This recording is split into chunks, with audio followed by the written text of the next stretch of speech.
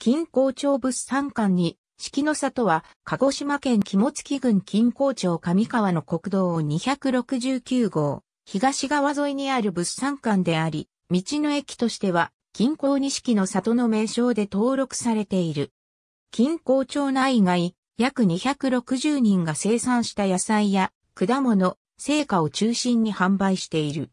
2006年4月14日にオープンし、2013年10月11日に道の駅として認定された。2014年1月現在は1日約500人が来客する。錦の里の名称は2005年夏に地域づくりインターンで金港町を訪れていた東京都在住の大学生により命名された。2006年3月に設立された錦の里出荷者協議会が運営主体となっている。2012年3月5日に入館者数百万人を突破。2011年の売上高は約1億6千万円であった。錦の里の前身は2003年2月に上川振興会が設立した上川新鮮野菜市である。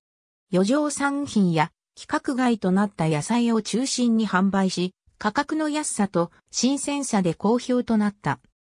8平方メートルの店舗に13人の会員でスタートし、2年後の2005年2月には、大根締町、田代町、ねじめ町3町65人の会員で構成するまでになった。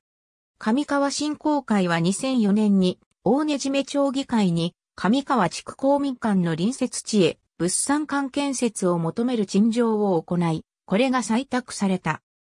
物産館は、こうした経緯を経て2006年4月にオープンし、同年6月に上川新鮮野菜市は、錦の里出荷者協議会へと発展的に解散した。